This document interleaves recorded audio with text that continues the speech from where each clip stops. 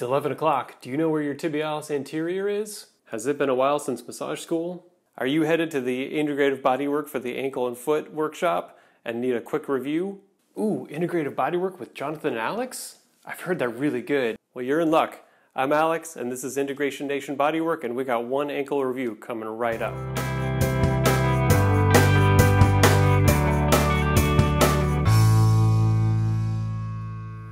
So now here we have the, our first glimpse of the back of the leg. And we're going to look first at the superficial posterior compartment, which is what most people are really familiar with the calf muscles, the gastrocnemius and the soleus, which is just underneath it. Together, they form into the calcaneal tendon, which attaches at the posterior calcaneus. Although fascially, the superficial layers are continuous over this heel cup area and become part of the plantar fascia on the bottom of the foot. So we're going to look at that a little bit too at the finish. It's important to remember that these two muscles overlay everything that is underneath them, the whole deep posterior compartment if you're doing body work with it, you're gonna wanting to, you're going to want to work and ease those outer muscles first before you get to the deeper muscles. So the first thing we're going to start with is the gastrocnemius, which arises right up here above the femoral condyles. And you have two bellies, medial and lateral, and they're going to come down and insert on the calcaneal tendon about here.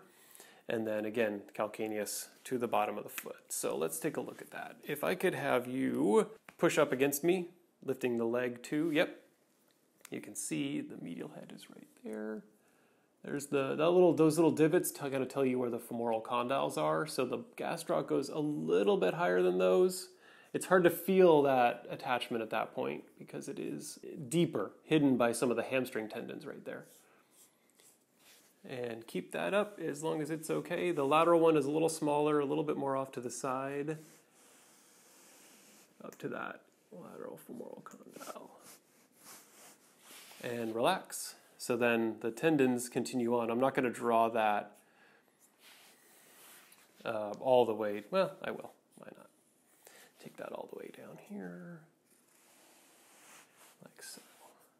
Tendon. The soleus is deep to the gastroc, so realize that everything I'm drawing now, you have to kind of take this one off and then you can kind of better visualize the soleus underneath there. Uh, so the soleus arises from the head of the fibula and this line. You can, I don't know if it shows going to show up in the in the video at all, but there's a ridge running right here called the soleal line.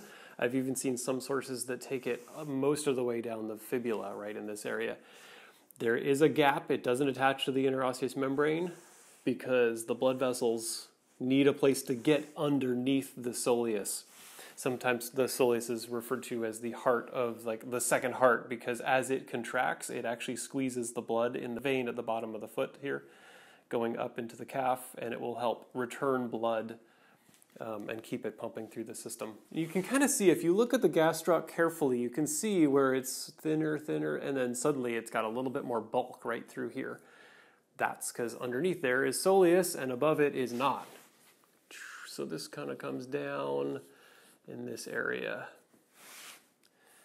Underneath,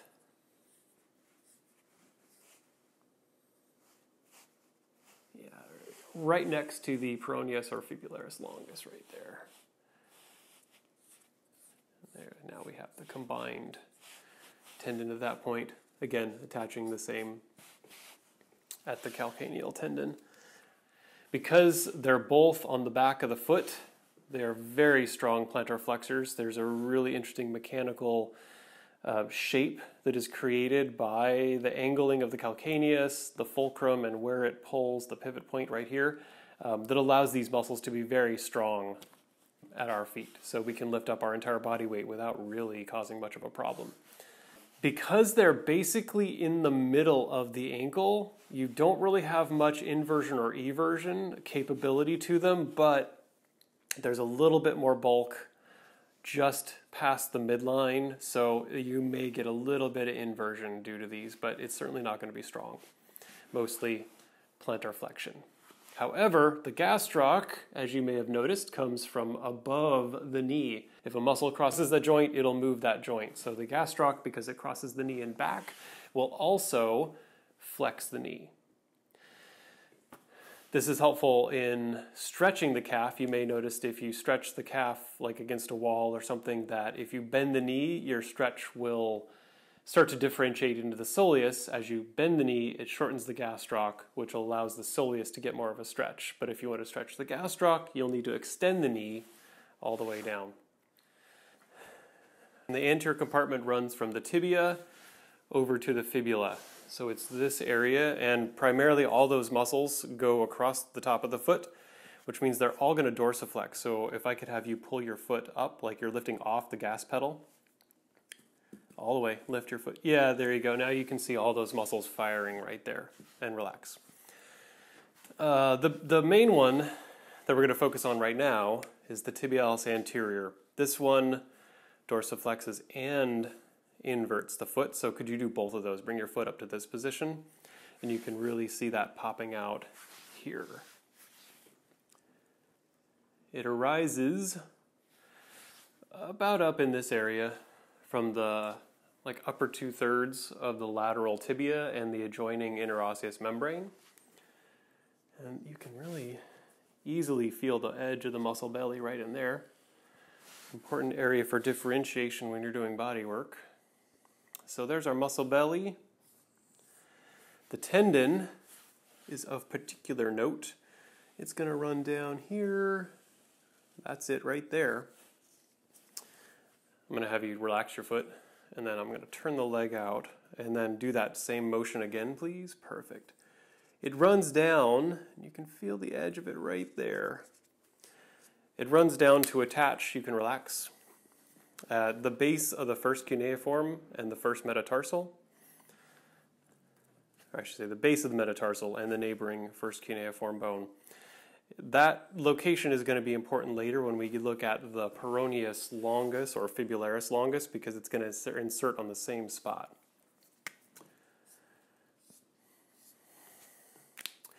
So because it crosses in front of the ankle and over to the medial side of the ankle, the tibialis anterior is going to dorsiflex and invert the foot.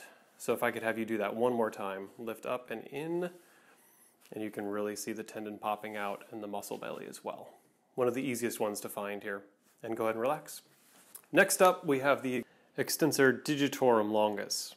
This one comes from the front, the head, and kind of the front area of the upper, like two thirds or so of the anterior fibula and the adjoining interosseous membrane. It's going to go down, so that is, because it moves the toes, hence the name, like uh, if you move your toes up against me, up, there we go. And you can kind of see this area go and relax and then tense up again. You can kind of see this area tighten, and that's going to help us identify it. There's the head of the fibula. So we've got an attachment there. The, it can also, I think some sources will say it arises from the lateral tibial condyle as well. So this one's coming down about into this region. And go ahead and bring your toes up again. And you can see right there some shadowing as that tendon tightens up. It basically is a single tendon until about here. And then it splits into four. Keep that tension going. Perfect, thank you. I can do this without obscuring the camera. That one's hard to see, but it's there. It goes under the extensor retinaculum, like the tibialis anterior, and it goes all the way out through the extensor mechanism to the distal phalanges, digits 2 through 5. Me down there. So, because it goes in front of the ankle and over to the lateral side, it's going to dorsiflex and evert, and it's also going to, as the name implies, extend digits 2 through 5. Last muscle for this compartment is the extensor hallucis longus. I think we'll go with purple for that one to stand out. Um, this one arises from the middle half or so of the anterior fibula and the interosseous membrane. So basically underneath this, so I'll do a little stippled thing to indicate that. And then it pops out here hallucis means it goes to the big toe. I think I said extensor. I think I messed up the name on that one. Extensor digitorum longus. This is a proof of concept video. We'll figure this out later. Um, go ahead, uh, lift your big toe up, please. Perfect. That's the tendon.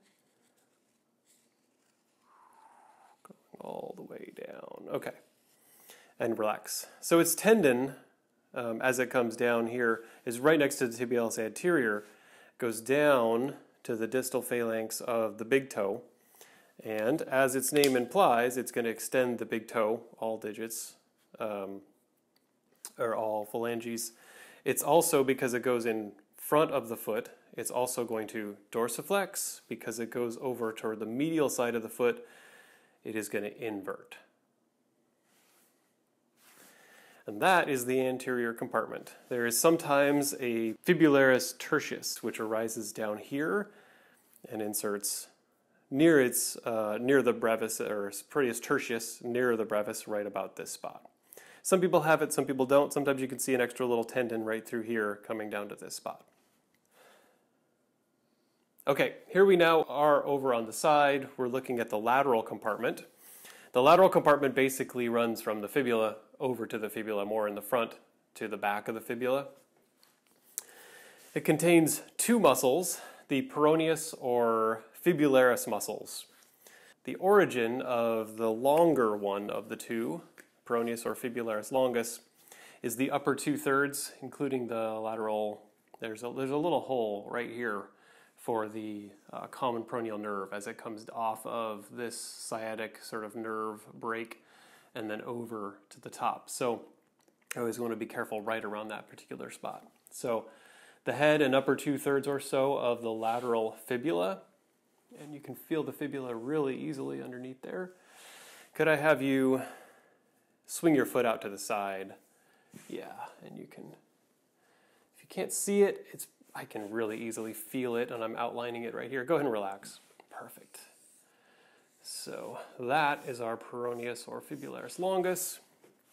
Uh, do that motion again. Just, yep, and you can easily see these tendons popping out down here. The fibularis longus goes behind the lateral malleolus, back behind here. It's held in place by a retinaculum, the peroneal retinaculum that sits right there. This one curls under the cuboid. So when I'm showing it here, it's it's kind of odd. You have to remember that I'm that it actually is pretty high up in the foot and that this area is actually covering it up. It goes under the cuboid in this little channel and it goes all the way over to the same location that the tibialis anterior attached on the base of the first metatarsal and the first cuneiform bone. And we'll pick up with that tendon right here as it travels over right there. And bring it back so you can see how it courses all the way from the side to meet up with the tibialis anterior. Peroneus brevis is about the middle or so half to two thirds of the, sometimes into the distal area. Go ahead and swing your foot out for me against my resistance. Perfect. You can see, if you really look carefully, you can see there's actually two tendons right here. So let's draw this one underneath there. There's a bit of this, you can relax, thanks. There's this overlap zone where you've got these, the two musculotendinous junctions, and the bellies, this is a really effective area to work in body work if you need to work on the peroneals and get them worked quickly. The tendon comes underneath behind just, just like its longer partner here. And go ahead, push up again. And you can see that tendon going right to the styloid process or base of the fifth metatarsal right there. Because these muscles pass the lateral side of the ankle, they're going to be everters, swinging the foot out to the side. Um, and because they go behind the lateral malleolus, that's at the back of the ankle, and so they're also um, plantar flexors because of that. You can see how they course around and under and relax, and how these muscles will plantar flex, and evert. Of important note here is the tibialis anterior and the peroneus longus, the way they come to a common attachment site and yet have exact opposite functions is really important for creating arch support. The peroneus lifts the cuboid, the tibialis and the peroneus actually kind of in pulling this down actually helps lift and support the arch of the foot and the tibialis anterior pulls directly on the top of the arch up. So those two muscles are really, really important for arch support and lifting in the middle. Here we are now on the posterior side, and we got it, realizing uh, that I'm going to be, everything I'm going to be drawing here, I'm going to be drawing it as you would view it from the back.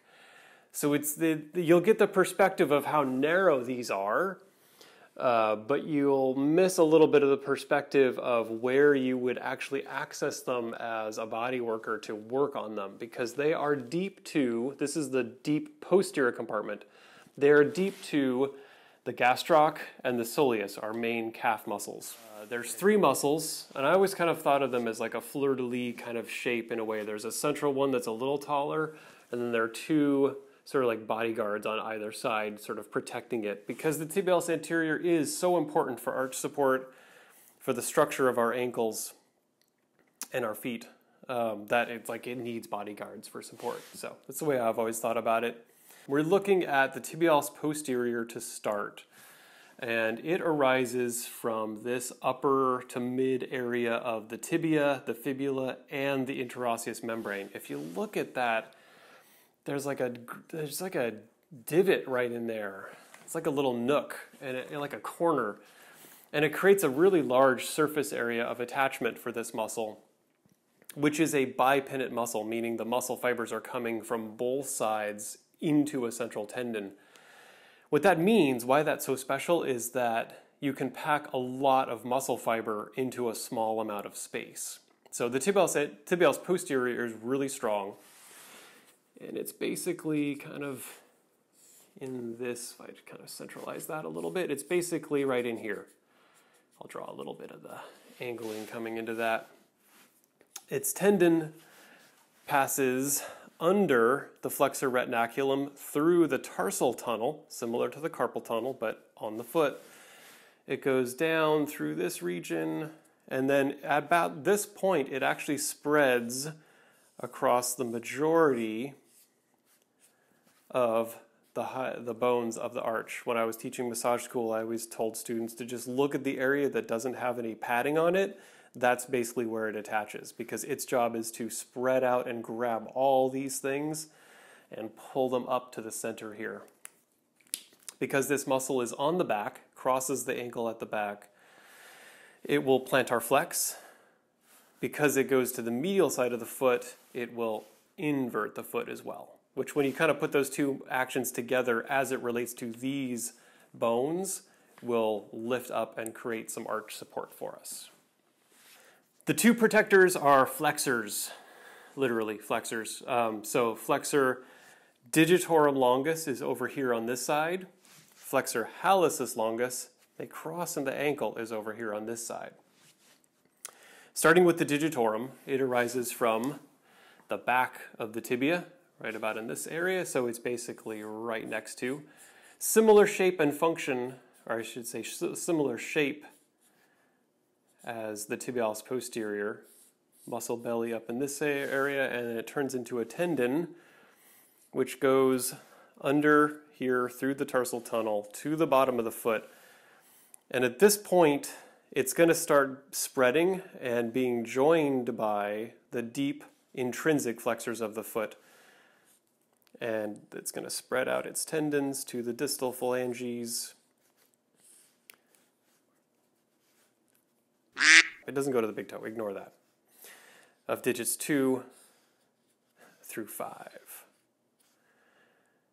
Just like tibialis posterior, because it goes at the back of the ankle, it is going to plantar flex. Because it goes across the medial side, it's going to invert. Because it goes to digits 2 through 5, it's going to flex digits 2 through 5.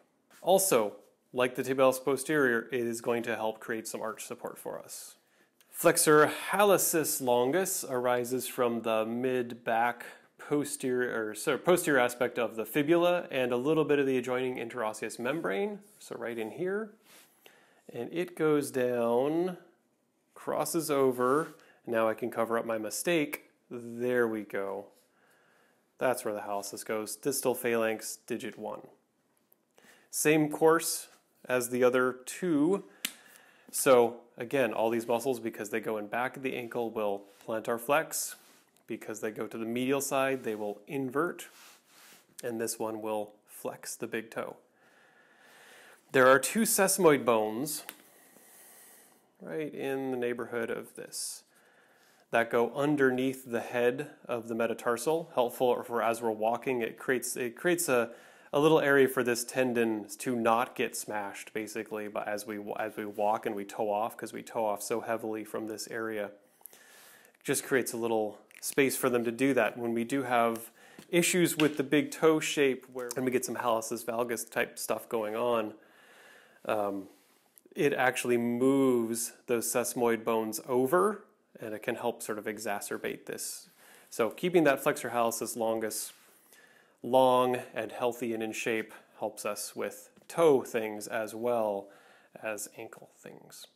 Again, keep in mind that I drew these as you would view them directly from the back. They're pretty compact. They all have to fit like in this little space right back here between these two bones. You realize I just drew those muscles as we viewed them from the back. As body workers, we're generally not going to be pushing through all of that soleus and gastroc tissue to get to here. You can, but it's a lot to push through. So what you want to do is find where that tibia is right here because the digitorum arises from the back of the tibia right here.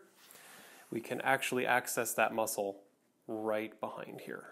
So I'm going to do a second drawing, try to get my colors correct.